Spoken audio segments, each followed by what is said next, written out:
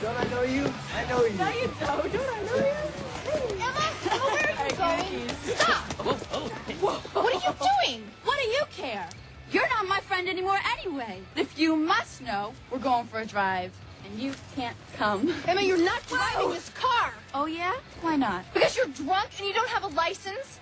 Meg, just move No. I'm not gonna let you in this car. I Sweetheart, why don't you let us drive Leave me you? alone! You're not my dad. I've already got two dads. That's enough. I'm out why of don't here. I'll be back leaving now. Thank you for a wonderful evening, McDonald's guy. Now move! Emma, are you crazy? You can't do this. You'll have to run me over. Bye! There goes my dad's car! Oh, nice.